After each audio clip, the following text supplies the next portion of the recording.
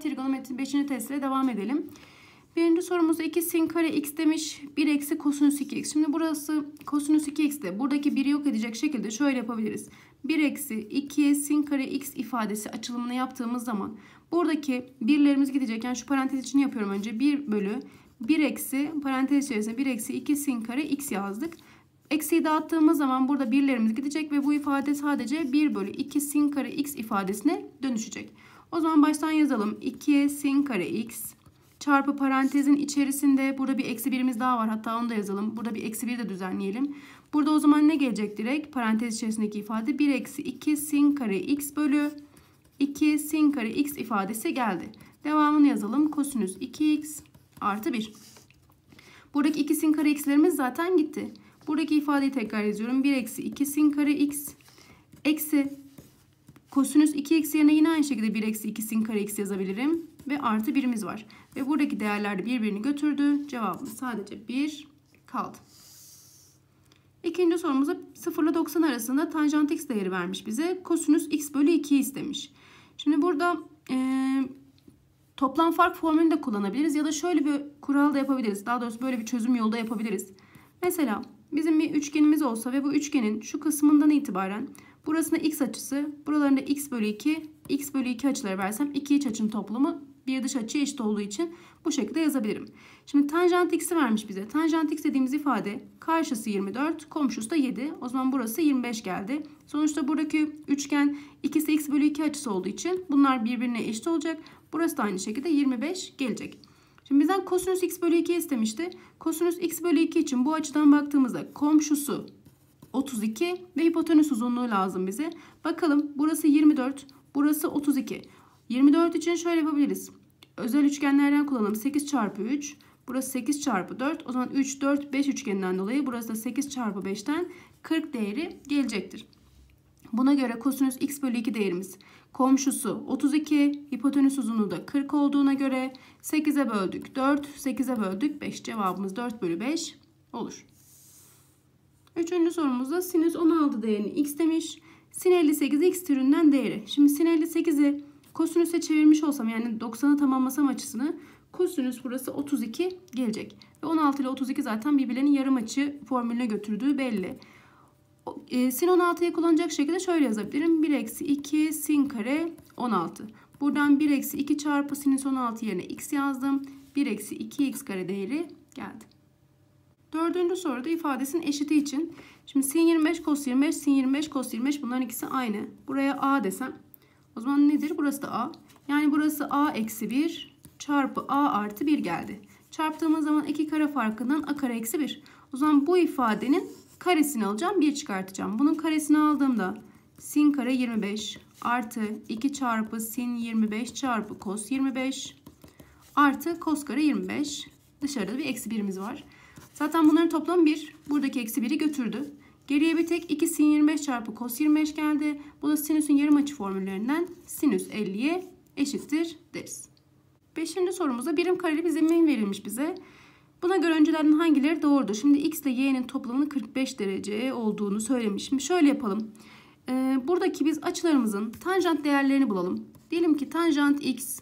Şimdi bu tanjant x için bir dik üçgen yani şu üçgeni kullanmam yeterli. Karşı ve komşudan 1 bölü 2 geldi. Aynı şekilde tanjant y'yi bulalım. Tanjant y içinde bu üçgeni kullanabiliriz. Bu üçgenin tamamını. Karşısı 1, komşusu 3, 1 bölü 3 geldi. Şimdi x artı y dediğine göre o zaman biz şöyle de yapabiliriz.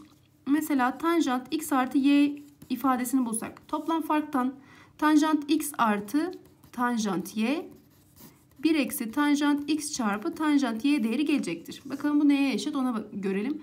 E, tanjant x artı y yazalım. Şöyle tanjant x artı y değeri için tanjant x 1 bölü 2 artı tanjant y 1 bölü 3 1 eksi 1 bölü 2 çarpı 1 bölü 3. Buradan 5 bölü 6 buradan da 1 eksi 1 bölü 6'dan burası da 5 bölü 6 sadeleştirdiğimizde 1 geldi.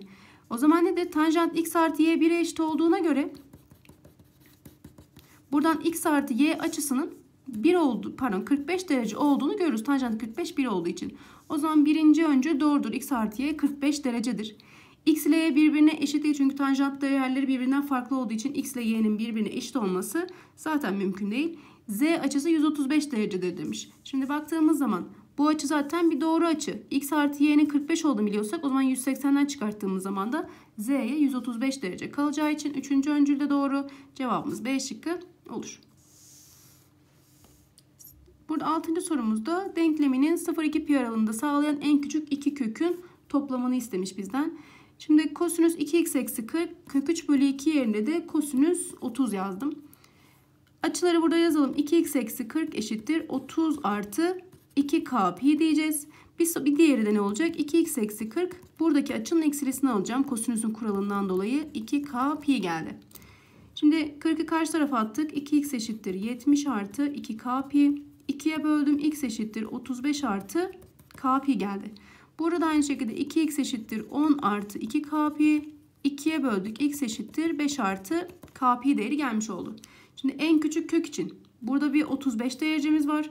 Burada da 5 derecemiz var. O zaman gelebilecek en küçük kökler bunlardır. Çünkü diğerlerine 180 eklenmiş olacak. Yani toplam 40 olması lazım. Buna göre şıklara baktığımızda 2 pi bölü 9 pi bölü 9 20 2 ile çarptığımız zaman da A, de, A şıkkı 40 derece geldi.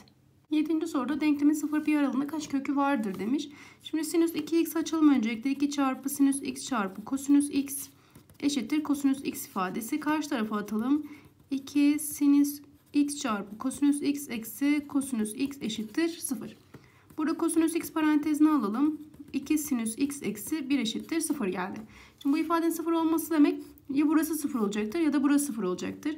Kosinüs x'in 0 olması için kosinüs x'e 0 yapan açımız kosinüs 90.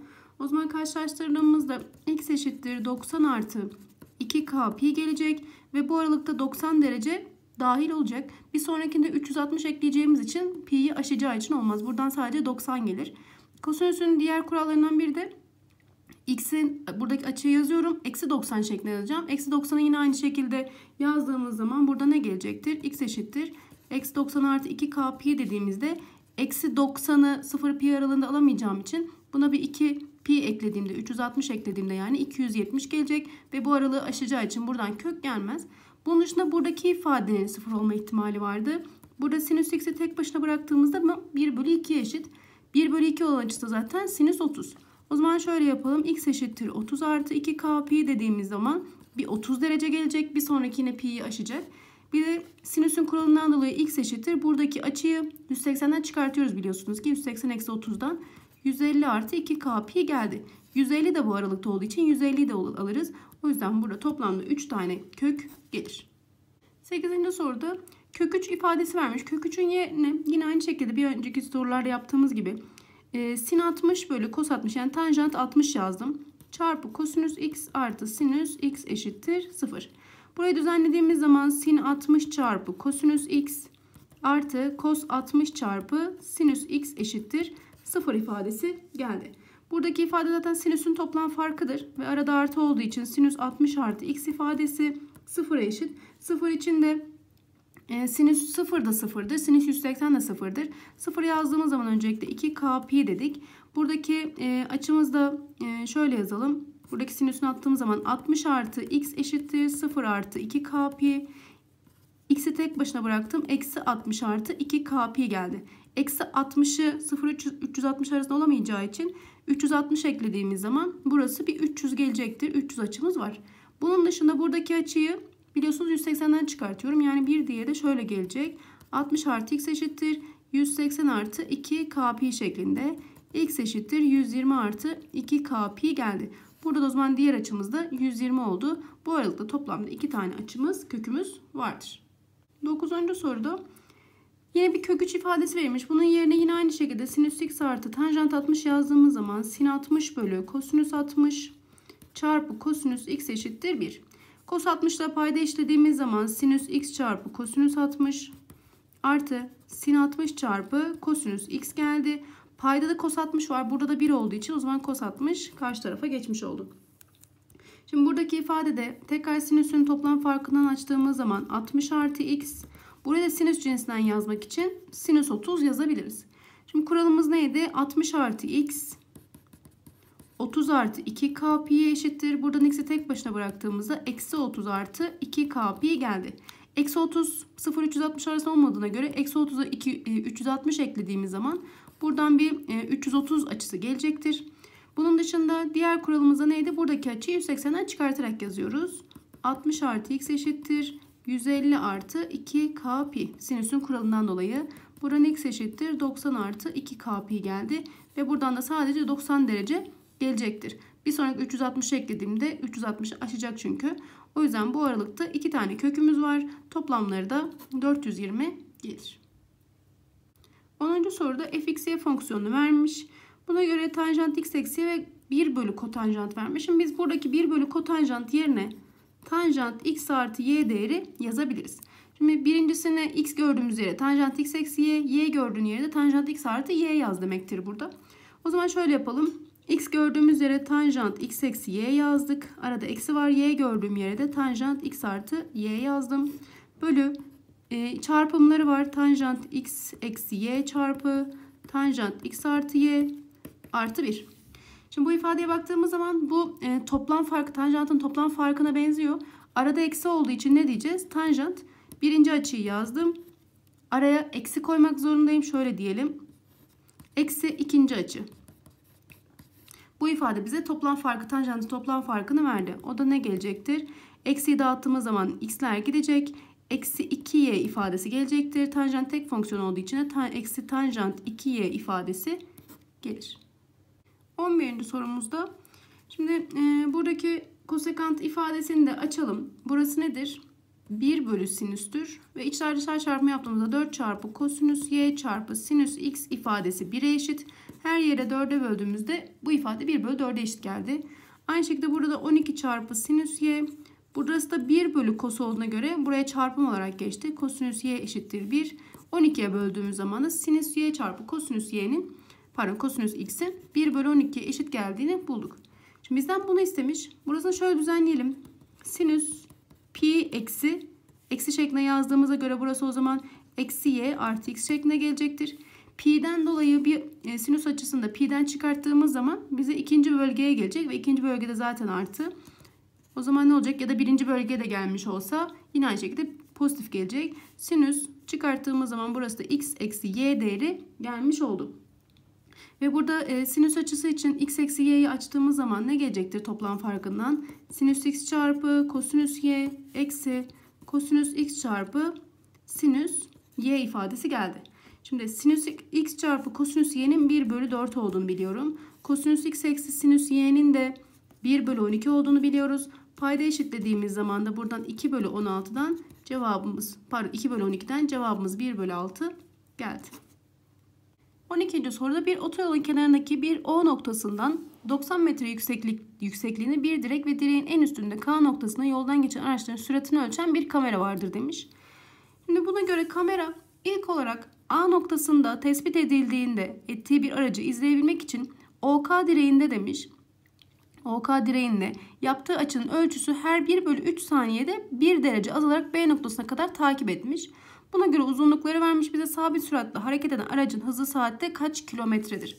Şimdi öncelikle buradaki A noktasındaki bu araç için baktığımızda buradaki açıya x diyelim. Daha sonra geldiğindeki açıya da y dediğimiz zaman. Şimdi arada kaç derece e, gittiğini görmemiz lazım. Bize sonuçta her 1 bölü 3 saniyede 1 derece azaldığına göre dediği için bizim buradaki arada ne kadar azaldı? Mesela ilkinde şöyle şunun tamamı x olmuş olsa buradaki aradaki mesafe artık ne olacak? X eksi y'lik kadar bir mesafe olacak ki topladığın tamamını x'i versin bize. Bizim için bunun kaç derece olduğunu bulmak önemli. O zaman şöyle yapalım. x eksi y açısının tanjantını alalım ve bu tanjantı toplam farktan yaptığımız zaman tanjant x eksi tanjant y 1 artı tanjant x çarpı tanjant y ifadesi gelecek. Şimdi tanjant x'i bulmak için bu üçgeni kullanalım. Tanjant x açısı 270 bölü 90'dan 3 gelecek.